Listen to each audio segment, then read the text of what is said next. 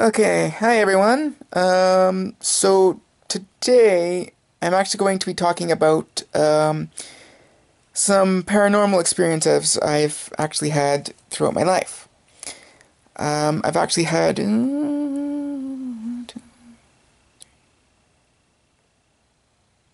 five, I'm guessing. Um, and since, you know, it's almost Halloween and, you know, people are doing scary stuff, I thought I'd actually put up some actual real stuff. Now, I've actually been a follower of uh, paranormal investigation uh, shows, one in particular, Ghost Adventures. Um, so, just on the off chance they're watching, hi Zak, hi Aaron, hi Jay, um, what's the other guy? Uh, hi Billy, sorry. Um, not that I think they're going to be watching, but you never know. Um, so my first experience happened, well, like maybe nine or ten, possibly a little bit older. Um, I was with my grandparents at, um, they live down south in southern Alberta, and uh, they took me to Lethbridge, and I used to live to go to museums. And Lethbridge has this one place called the Galt Museum. Um, I'm not, I can't really remember much of it. I think it's just art, sculptures, that sort of thing. And um, one thing I did not know at the time, I actually found this out after, uh, was that it used to be a hospital. Um, so while I was going through the museum, I got the sudden urge to kind of break away and go down this hallway. That's where I had my first encounter. Um, now, as far as I believe, uh, what people think they're seeing ghosts, it's actually not, you know, like visual. That's why we can't really catch any visual evidence. It's all up here. It's the way I figure it. Ghosts are psionic beings, or like they're they're more psychic. So that's kind of how they communicate. They can manipulate energy, but you know when people see a ghost, as far as the traditional sense, that's what they're seeing. They're not seeing it with their eyes; they're seeing it with their mind.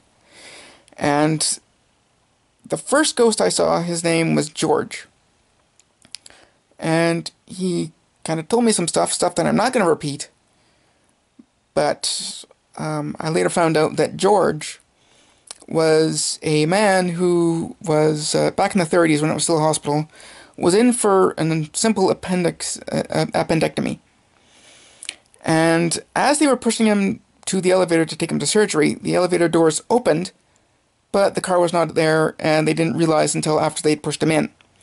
So George fell down, hit the bottom of the shaft, survived for a little bit, and then now he basically works around the museum. Um, fun fact the um, museum's administration office used to be the children's ward, and there are apparently a couple ghost children that like to wave, as far as I know. Um, so that actually led to what I think was a partial attachment for a while. Don't quote me on that. It's been many, many years, and I can barely remember the experience. The next time we were actually at um, a okay in Calgary. There's this place called Heritage Park.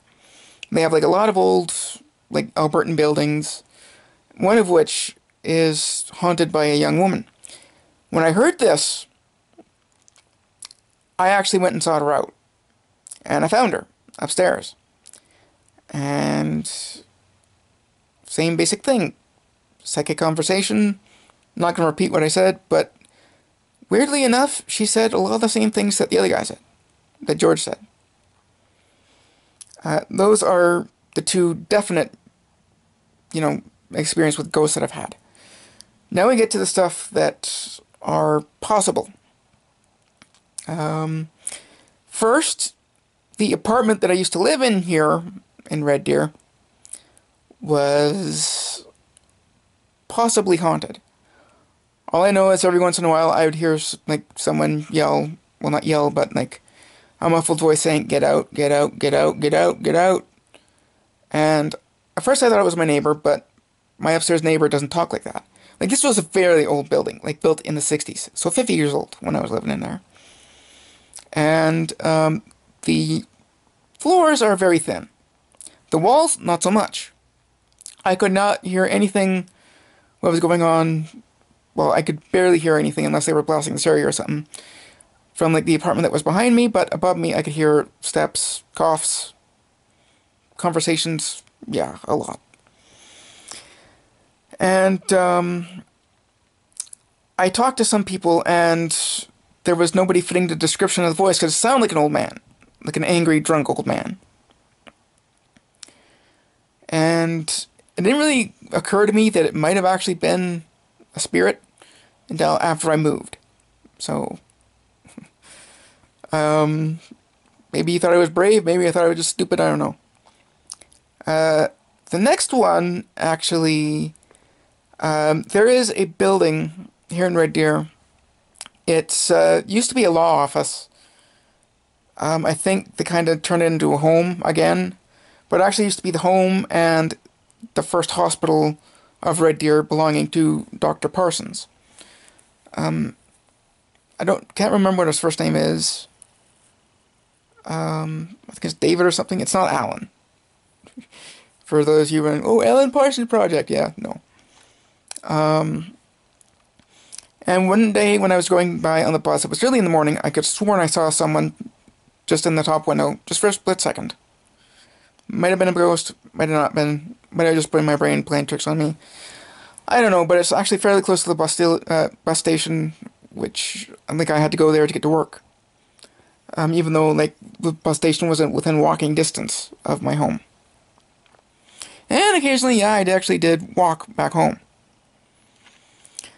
Um, the last one is.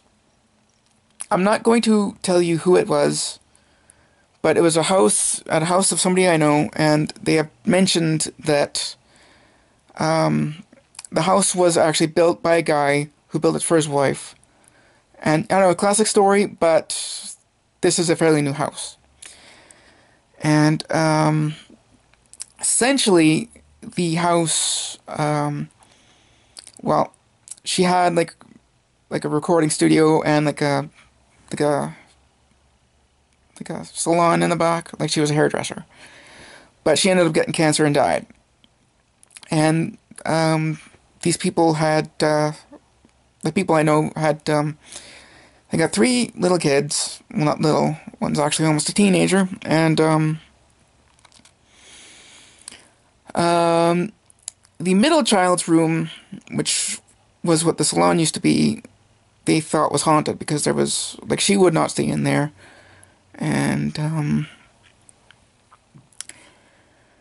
um, you could definitely tell there was some some energy coming coming from coming from it, and I did a stupid thing. I went in. I kind of told the ghost to fear me and it led to a classic attachment. But after that happened, I don't really feel the energy anymore. So I'm wondering, and I don't really hear anything from them if there's any more activity, so. But it was, um, I don't know if you can tell this, for some reason I'm shaking. I don't know why I'm shaking. I think I just need to get some water in me, but um, I don't really feel the energy every time I go over there, and like I visit them quite a bit. Um, for privacy's sake, again, I'm not going to mention the names. Um, and uh, I actually have one more story. It's actually not my story. It's um, from my fiance. Uh, my fiance um, used to live in a very old house in Manitoba when she was growing up. And the area she used to be in was, I think she said, the servants' quarters. Like it was like an old, old mansion, right? And uh, when her dad started doing some renovations there, that's when the activity started, and she could swear that she could see somebody standing over her bed. Um, I hope I'm hoping I'm getting, I'm getting these details right. It's been a while since she told me the story, but she said I can say it anyway. If not, I might actually have to redo this video, like delete the video and then redo it.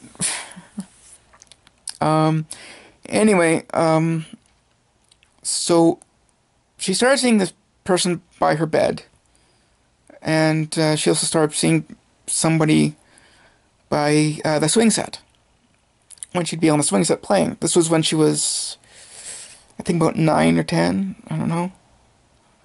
Sorry, sweetie, if I can't remember. anyway, um, so she told her dad, and her dad went and apparently prayed by her bed with her, and that's when everything stopped. So hopefully I remember that correctly. I know I remembered my own things correctly. Um, but those are six paranormal experiences that, well, five that I've had and one that from someone I know who I've had that I actually got permission to tell it. Now, I actually do want to go hunt ghosts sometime soon. I don't know when, but you know, it'd be nice to. Um, said I actually don't scare that easy. I do get freaked out more by living people than by spirits. But I do believe that, you know, there are spirits. And um, I do believe in an afterlife. It might not be the Christian afterlife, but it's an afterlife. Um, and yeah, hell, if the Ghost Adventures ever offer, I'm here for like some sort of lockdown if you want me. Anyway, guys, um, that's it for now. Hope you guys have enjoyed this video. Um, but yeah, I figure, you know, Halloween special, something spooky, but real spooky, not like fake spooky. I'm not gonna go and do Outlast or Alien Isolation. I can't even do a decent playthrough of Alien Isolation because it doesn't really work that good on my machine. But that's just my opinion. So, till next time, guys. Later. This is Shocker Cyclone signing off. Oh, and a little bit of pandering. Like, share, or basically favorite this video if you like it. Um, it's just something different. Uh, it's going to replace the upload of Mass Effect today. Anyway, so enjoy. Shocker Cyclone out.